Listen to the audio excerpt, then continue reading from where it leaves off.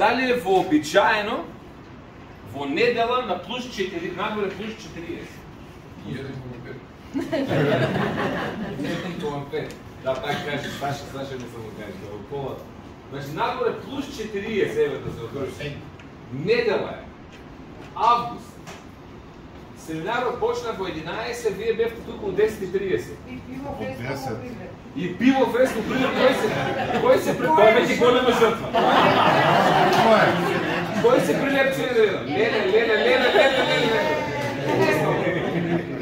И пазите, ниту еден, освен една мајка која што од Неготина, која што уште пред три дена најави, од има две мали деца, дека ќе може да присутува само до толку стара жената, и на крај криво и беше, ни еден не напушти, а сега е 20 до 5.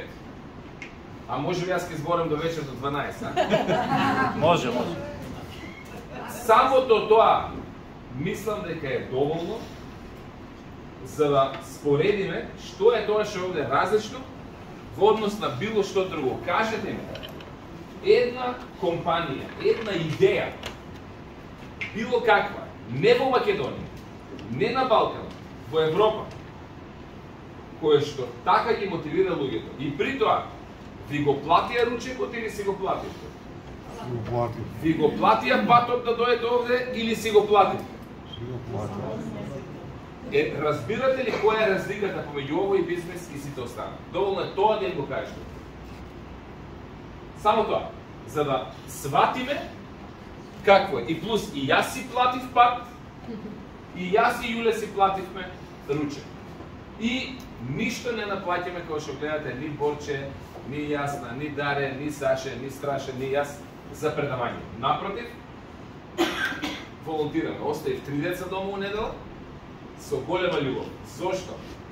Оти некој го даде овде слайдот. Само кога инвестираш во себе и само кога им помогнеш на другите, имаш право да се надаваш на успех. Во спротивно, не само што немаш право да се надаваш на успех, туку свесно или не, правиш криминал. Е сега, што е интересно за днешната дата? Мислам дека ова работи, дај го подеси ова. Да. Што е интересно за денешната дата? Колку се гледа, не знам. 11 август 2014. Ова ми излезе са бајле на Facebook, на мојот приватен профил. Тогаш нема фан пейдж, мислам дека тогаш и не ни постоеше фан пейдж од Facebook, не знам.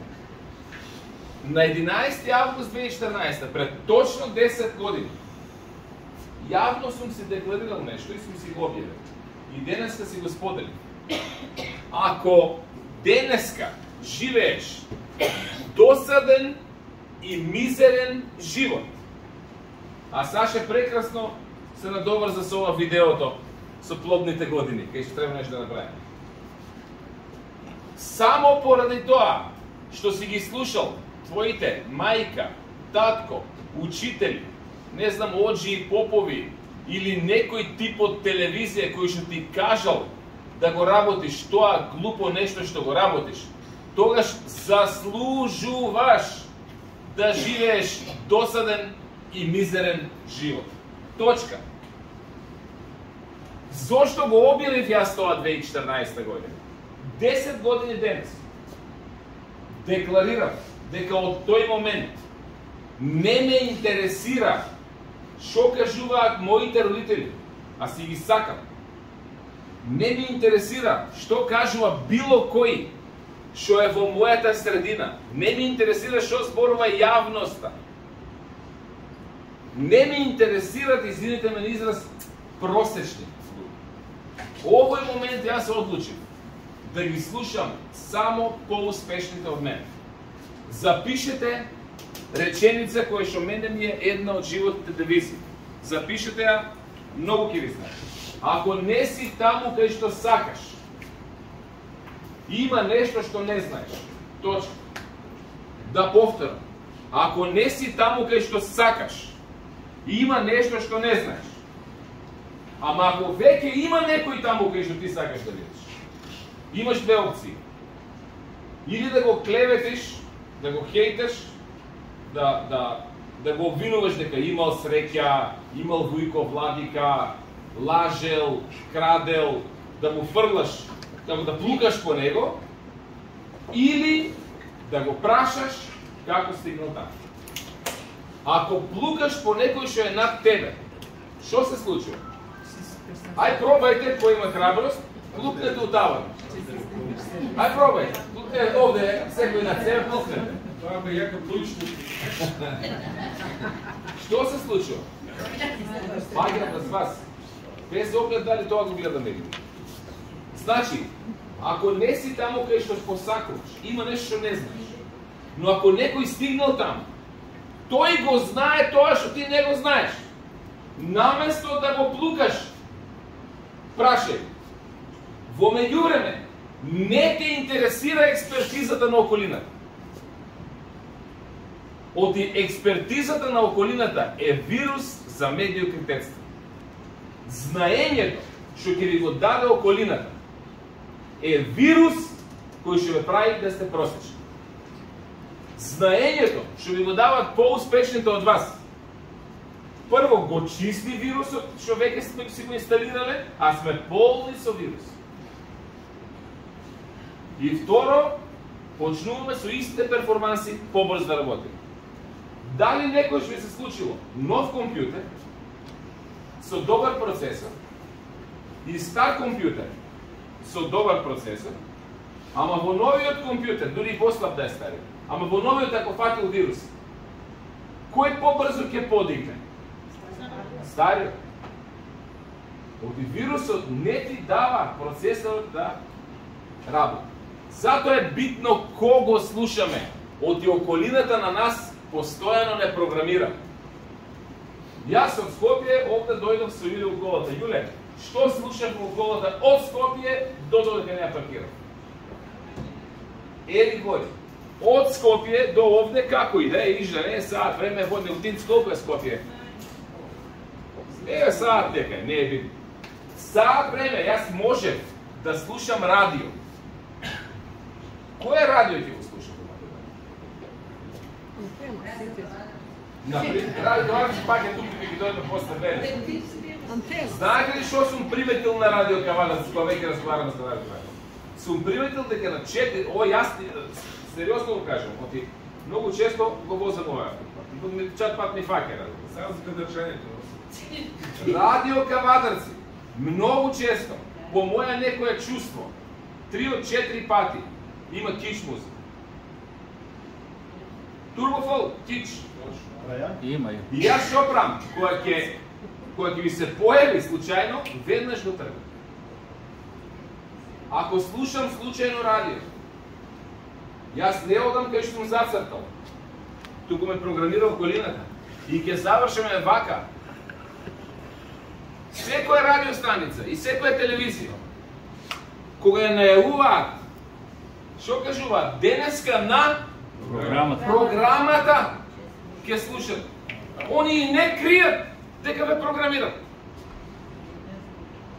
На програмата ви. Значи, се, или има многу често, а, а, сега, во последно време се појавуваат карикатури на, на YouTube, нова на, на социјалните мрежи, вика, добар ден, почнуваме со вестите, еве што денеска спремивме за вас, што да мразите, а што да сакате и како да не слушате. Тоа се вестите, тоа се програмите, тоа се случајните медии. Не. Јас во животот си зацртав на 11 август 2014 цел. И викам, сакам да стигнам таму. Кој стигнал веќе таму? Майк Милер, Марио Реджа, Хуберт Фрайдл, Ерик Мори, Джим Рон, Боб Проктор, Лес Браун, кажете го овој, Елен Найтингел и сега да ги набројувам, добив, добив список од едно 50 на души. Престана да ме интересира за целта кај што сакам да стигнам. Престана да ме интересира и мислењето на жена ми. Што мислите, кого сакам јас повеќе? Тие луѓе што ви ги спомнав или жена? Нормално. Еве, од кај знаеш не денес се Дека тука нели да девек мора тоа да го каже. Не, вистина е. Барем однос на тие, е, да видиме. Но, дали жена ми може да ме одведе таму кај што јас сакам? Не. Едно е кого сакаш, друго е од кого учиш. Значи, ова кој ќе го разбереме, ние почнуваме да се стекнуваме со вештини кои што ќе не одведат таму кај што сакаме. И сега што значи тоа? Тоа значи дека прво треба да видам кај се гледам јас за 5 години од денес. Кај се гледам јас за 10 години од денес. Знаете ли кај се гледав јас за 10 години? Кого овие е кого? Тука сега. Овде го неготино сега. Браво. Еве кој е разбрал. Јас за 10 години се гледам овде. Ево овде. Со вас. И што правев 10 години? Отрчаше пата. Исклучиво го одев патот. И ништо друго не ме интересираше. Јуле, колку гумици смени во меѓувреме на чешми у купатилото у кој што ни капа некој. Знаеш аз? Не, не знам што е тоа. Колку сијалици смени в дома кој ќе прегори. И се, ако ја слушав околината, моите другари, знаете што ќе кажа на тој ќе видам најефтенче? Е, бати домакино. Да. Мојата просечна средина ќе ми кажеше, Зоки, па ти не си домакин. Да или не? Да, да. А Ери гори на една обука ми вика. У Лас Вегас, 2015 март. Значи, неколку месеци од кога ово го зацрта. Отидов на таа обука да го слушам Ери гори во Лас Вегас. Немав пари да одам во Лас Немав пари. Ама знаев дека мора да сум таму. Оти Майк Милер ми кажа, не прашувај колку кошта да одиш таму. Прашувај колку те кошта што не одиш на такви. И Ери говори на таа обука вика вака. Колку сакаш да ти е дневница? И јас, нели, силен, матен, викам, сега ќе ја претерам, ќе ја напумпам, ќе го импресионирам. Викам, 500 евра дневница. 500? Од кај си ти? Викам, Македонија. Мрт знае. Мора да вика, некој источна Европа тоа. Вика, или вика, негде, вика, другите се ромаше држи од Јужна Америка. Викам, чај, а јас? Јас кажав толку многу, за да ме импресионирам. Ти се врти преку мене, седеше Терие. Вика ти, ој вика 5000 евра. Дневница. Терие. И вика ти од кај си? Од Норвешка. Знае. Гледате ли вика колку ви влијае околината? Што мислите, зошто тој од Норвешка кажа 5000 евра дневница? А и Терје, после Терје ми е пријател, знае. И Терје после кога седнавме на кафе, на првата кафе, вика, јас кажав 5000 евра да го импресионирам. Ама и јас кажав 500 евра да го импресионирам. Сваќате ли око- околината колку не вкалапува? И сега пазете. Прашање. Дојдов ли јас до 500 евра дневница? Ја надминав. Да. А во моментот кога го изустив тоа, јас знаев дека е тоа невозможно, ама викам, ајде да кажам нешто дека да ми обрне внимание на мене. А сега е надмина. Зошто? Оти престана да ме вкалапува околината и почна да ме вкалапува Ери Гори. До овде се разбираме? Ви има логика? И он вика, окей, 500. Вика, во ред, добро, ќе си ги зголемиш, вика, тавчето, тогаш го слушна вицот за тавчето, ми го кажа Никола Домин. Да не го кажам, предпоставам го знае. И туку вика, ај вака се. Дали вика, ме праша, тоа са Јуле ќе праша. Дали дома, ако нешто има проблем со со струјата, со инсталации, со водоинсталации, фрижидер ако се расипе, кој го прави тоа? Како кој? Јас. Е, бат домакино ако не го правам јас. И вика, слушате се, колку пари е водоинсталатер да ти смени гумица на чешма што капа. И во тоа време, јас така се лупнав, цена од прилика знаех, 500 денари. Сум погрешил или не? Но, 2014. Долар.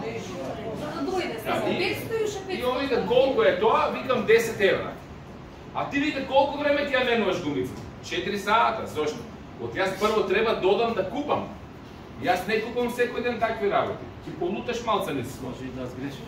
Па ќе ја сгрешиш, па ќе врати. Па не можеш одма да ја смениш, два сата ќе се петнеш, па немам како се вика ова.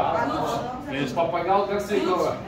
Папагал. Француски курс немам, не знам што немам и така натаму. Четири сата вика. И вака ми прави, вака сега извини ма.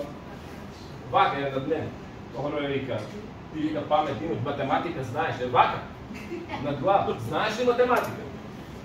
Викам зашто? Па сакаш да заработиш 500 евра на ден, а 4 сата работиш за да заштедиш 500 ден, 10 евра е.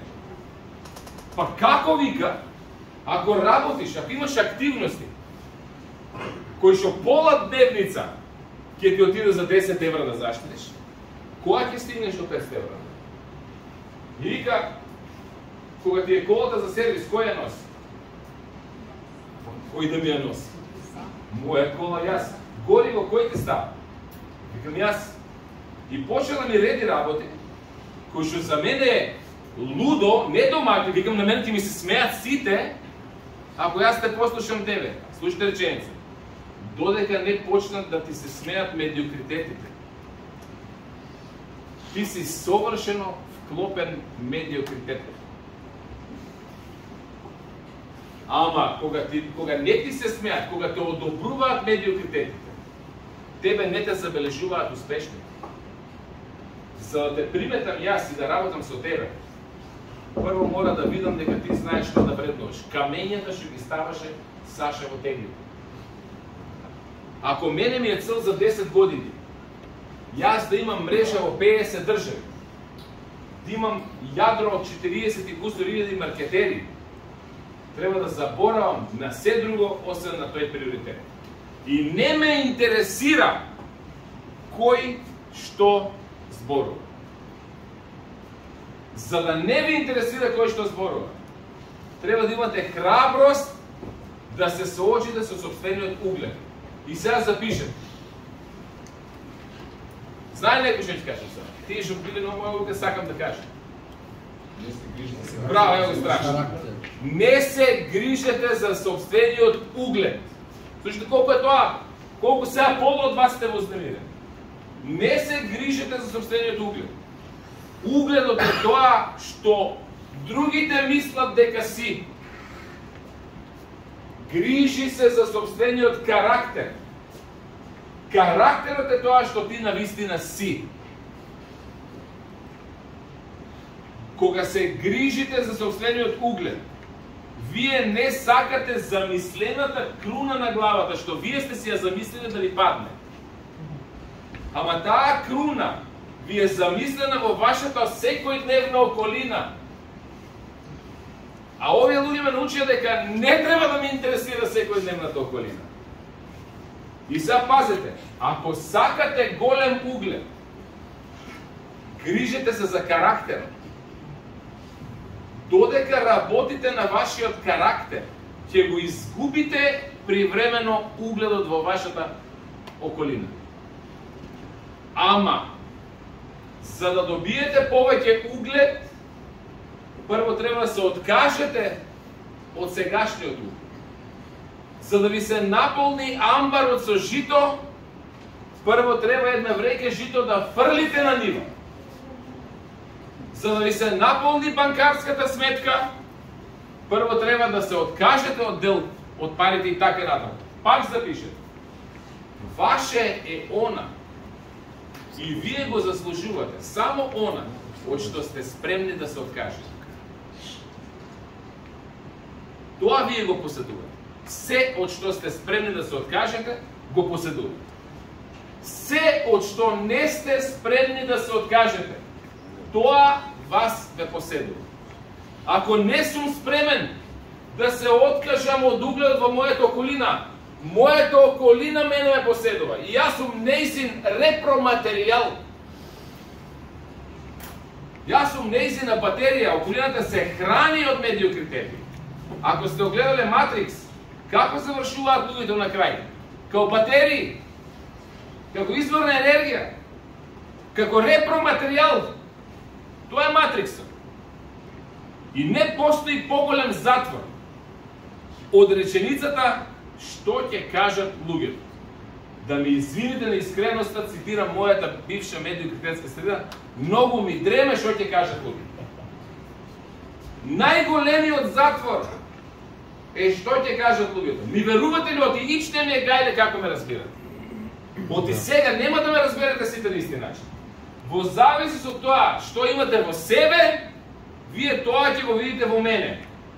А во зависност од тоа што имам јас во себе, јас ќе го видам тоа во вас. Тоа се парадигмите на Бог Проктор кои што ги спомна преска Саша. И затоа е многу важно, грубо ќе се изразам, кој ве програмира? Радио Кавадарци, мојата медиокритетска средина во која што сум произлезен, или луѓето што ги спомна. За да одберам кој ме програмира, треба да знам кај сакам да бидам за 10 години, за 5 години, за 2 години од сега. И кога ќе видам дека не сум таму, а некој е таму, јасно ми е кој треба да ме програмира. Сега читам една книга, се вика Мајсторство од Роберт Грини.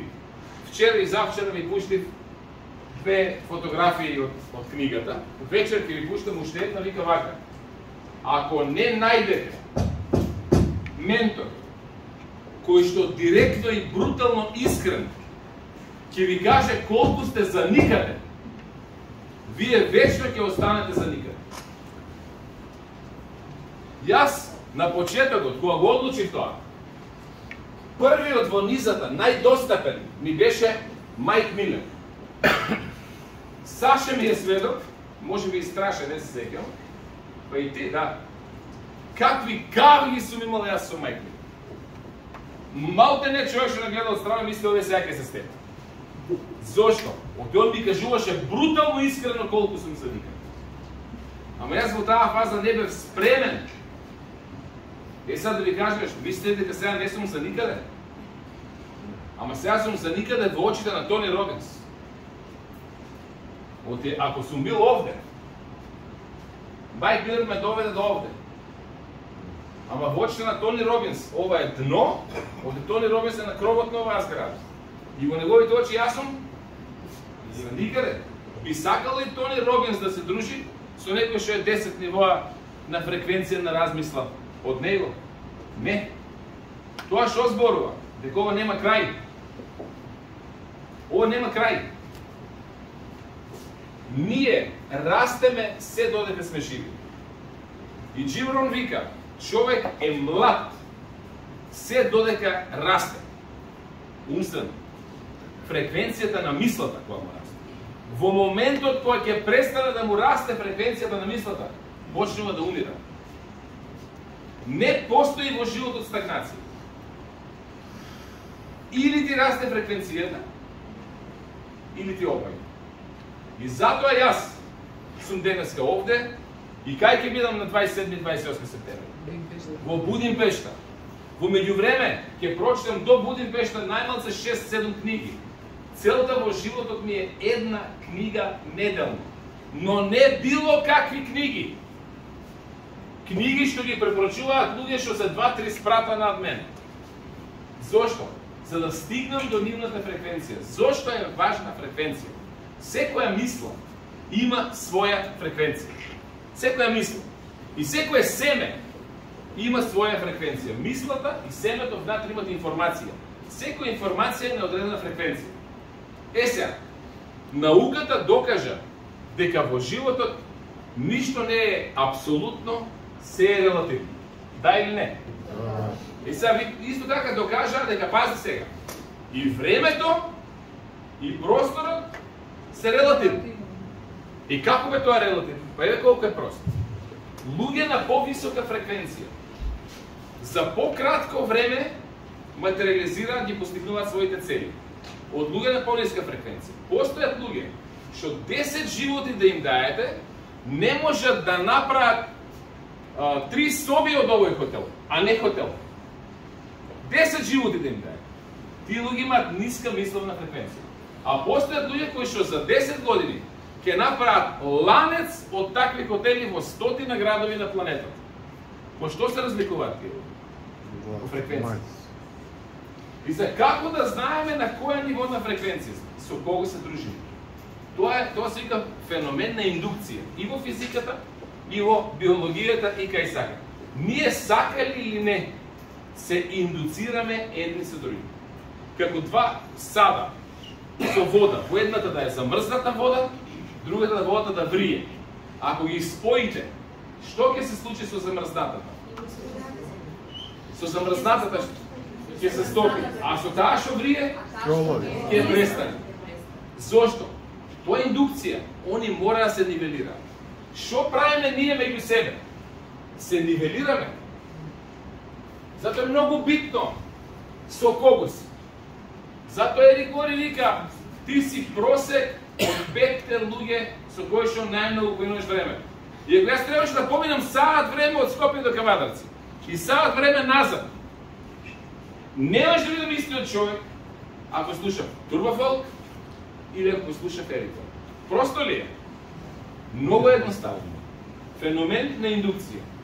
И сега пазите, колку повисока фреквенција, толку повеќе креирам.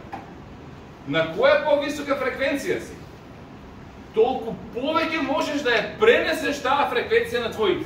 Ама не можеш да дадеш нешто што немаш. Мора прво да даунлодирам од повисока фреквенција, па да можам после аплоуд да направам на моето околина.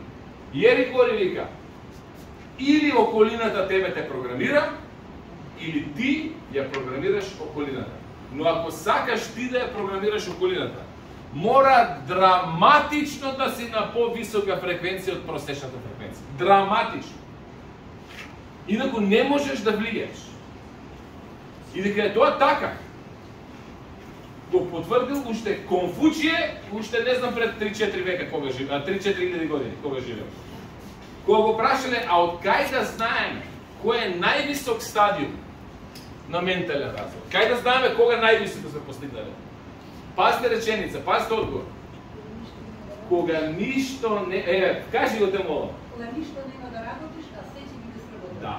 Браво. Кога ништо нема да работиш, а ништо нема да остане несработен. Се ќе биде сработен. И тоа пази, и вика и како е тоа? Па ако ја читате Библијата, он вика и рече, и Бог рече нека биде небо. И вика и би небо. Нека биде ова и би. Он не каже и седем од тиката и следните три месеци сееше. Не, нека биде и би. Тоа е највисок стадиум.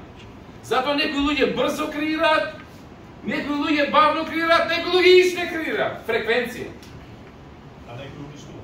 А некој уништува. Е толку едноставно. И затоа се многу битни овие семинари. Што правиме ние овде? Се индуцираме од знаењето на тие луѓе. А што правиме во исто време? Правиме антивирус и фаервол да не ни влијае околината. И затоа е битно да дојдете у Будимпешта.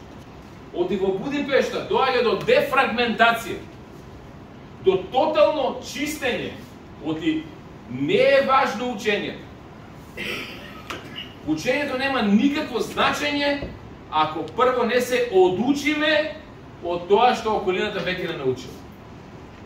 Зошто? Оти ако не ги смениме парадигмите, ако јас останам со тоа дека е домаќинлак, ти дома да си менеш сијалиците и не знам што е, ти колку сакаш, доби знаење. Ти останеш филозоф, дрвен филозоф. Ке знаеш да го кажеш, но нема да го знаеш да го примениш.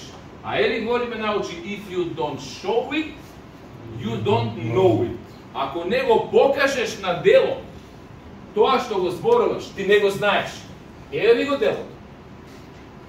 На денешна дата, 2014, пред 10 години, сум си го најавил, сум си го применил и еве ме функционира. Тогаш сум донел одлука. Лесно ли беше? Ич. А вредеше ли? Што е важно дали е лесно? Пак ќе го цитираме Ерик Гори. Лесно е вика, а, тешко е да се направи. И а, вика, че како беше? Лесно е вика да се направи, но уште полесно е да не се.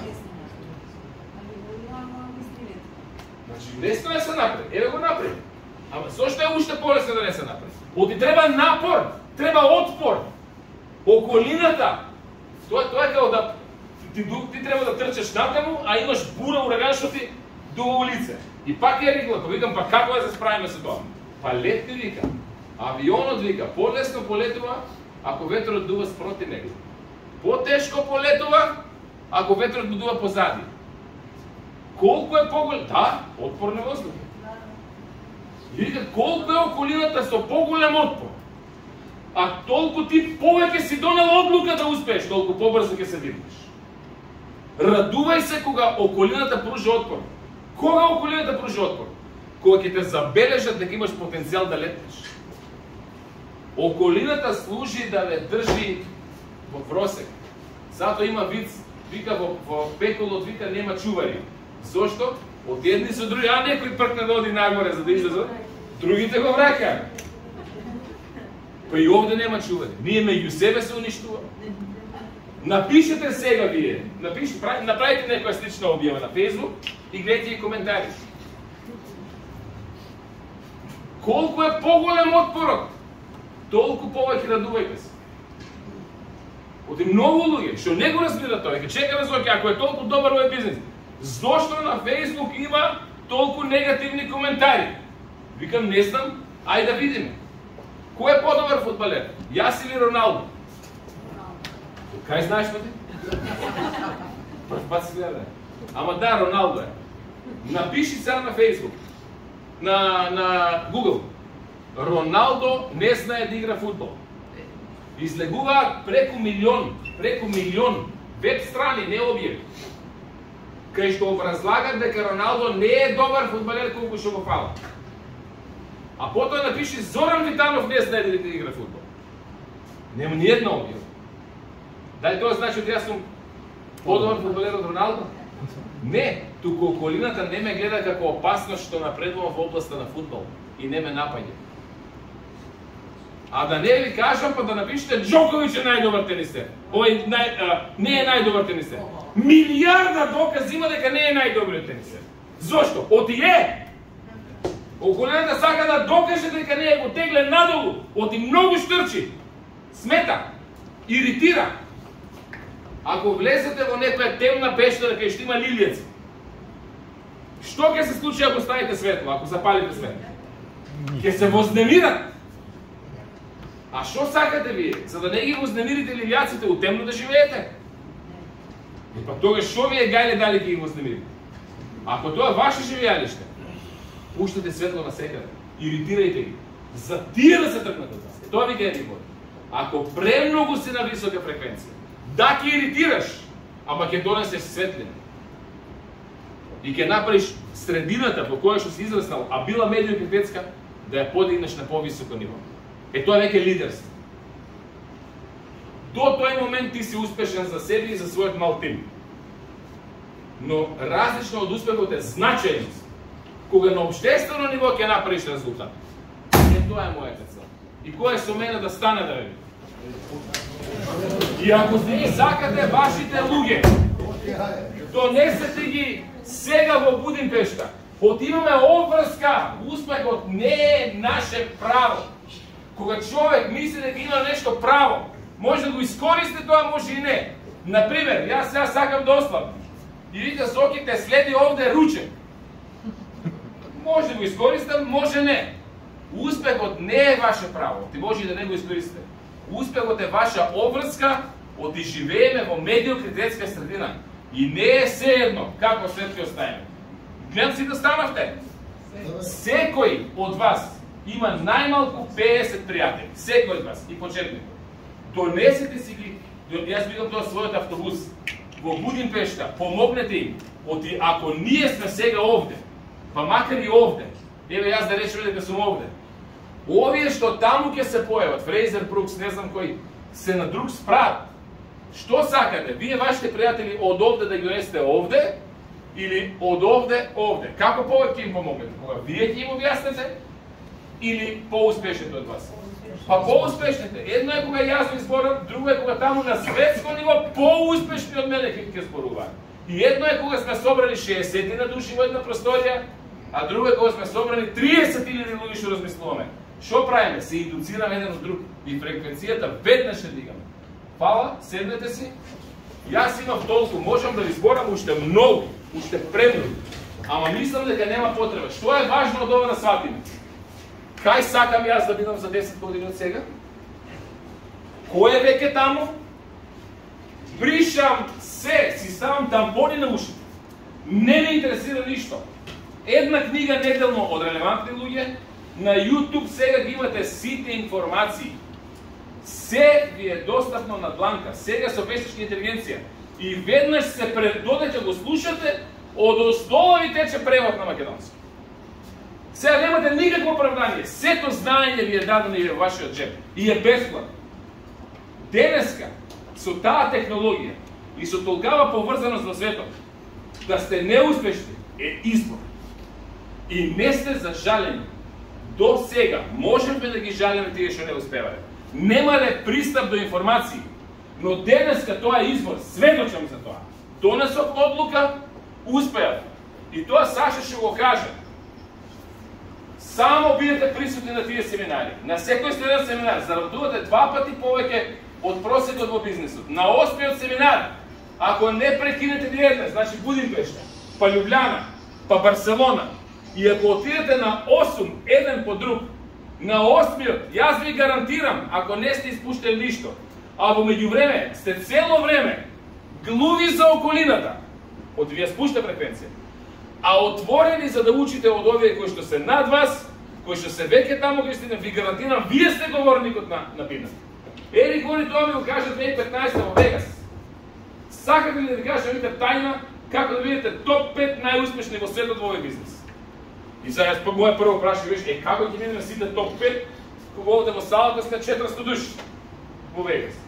Па вика нема сите да го примерат. А ти вика, не, да не те интересира околината, гледај за себе ви. И викам, како? Тие Саша ви Во Будимпешта ќе видите 30.000 луѓе. Ако го имаш тоа, пушти го дај. Или јас треба нешто да. Не е битно. Во Будимпешта ќе видите 30.000 луѓе. Во Лјубљана Не е битно, не е битно. Во Лјубљана пола нема да дојде. Вие само бидете овде и ќе видите два пати повеќе. Во, во Барселона и од овие пола нема да дојде. Со нови луѓе се полни салата, ама вие бидете овде. Четири пати повеќе. осум пати повеќе. 16 пати повеќе. 32 пати повеќе, 64 пати повеќе и вика на крај вие сте предавач. И јас викам толку е лесно. Јер го вика ти гарантирам. Само внимавај вика во меѓувреме. Не вози, не се вози во приватна 12 Баш така ми кажа, не вози, не се вози јавен превоз. Не слушај случајни телевизии, случајни радио. Не гледај вести. Не гледај турски серии. Не слушај што ти зборуваат роднините, пријателите, комшиите. Не те интересира ништо кој што збори. Само аплај. Оној кој што е веќе таму. И ти гарантирам, ако само ова го правиш, ти ги бидеш говорник. Ме кошта ли нешто еднаш годишно да се прошетам до еден освен Вегас, сите други се европски градови. Многу ли кошта тоа? Лесно е се направи, полесно е да не се направи. И јас го направив. И бев говорник и во Краков, и во Шалкерен. Функционира. И сум во топ 5 маркетери на планетата. Зошто другите не го направија 400 души? Ја слушаа околина. Избор. Ја слуша околина. Power of choice. Weapon of choice. Freedom of choice. Изборот, одлуките што ги правите, вие денеска во животот сте таму, кај што тоа е механички збир на сите одлуки што во минатото сте ги направиле. А одлуките ги носите врз на тоа какви мисли имате во главата. А мислите во главата ви доаѓаат од тоа кого слушав. А тој што му слушат има мисли што му за негова фреквенција и вие сте таму кај што сте. Може ли ова да се смени? Да. За миг не може да успеете, ама за миг може да го промените правец. Еве го пак. Го помина.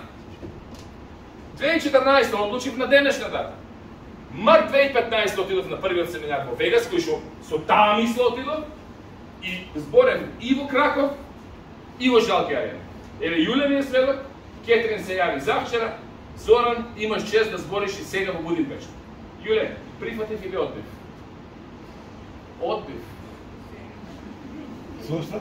Па веќе надминав. Викам сега некој од мојот тим ќе збори. Од јас веќе го надминав. Некој да ми кажуваше во март 2015 дека јас не само што ќе го изреализирам ова, туку и два пати ќе видам на бина, ќе видам у топет и на крај ќе кажам не бе ова веќе не ми интересира. Ќе го пратев у Бардовци одма. И тоа не само да, да биде у Бардовци, туку на физички преглед на мозокот, не само на ментален. Ама еве се случи. Одбив, оти сметам дека веќе и тоа ми е надмина. Нема лимит. И ќе завршам со мисла на Руми. Денеска си океан во однос на капката што си бил пред неколку години. Ама во исто време денеска си капка во однос на океанот што ќе видиш во иднина. Само внимај кога слушаш. Е толку е просто. Фала ви на вниманието. Фала ви.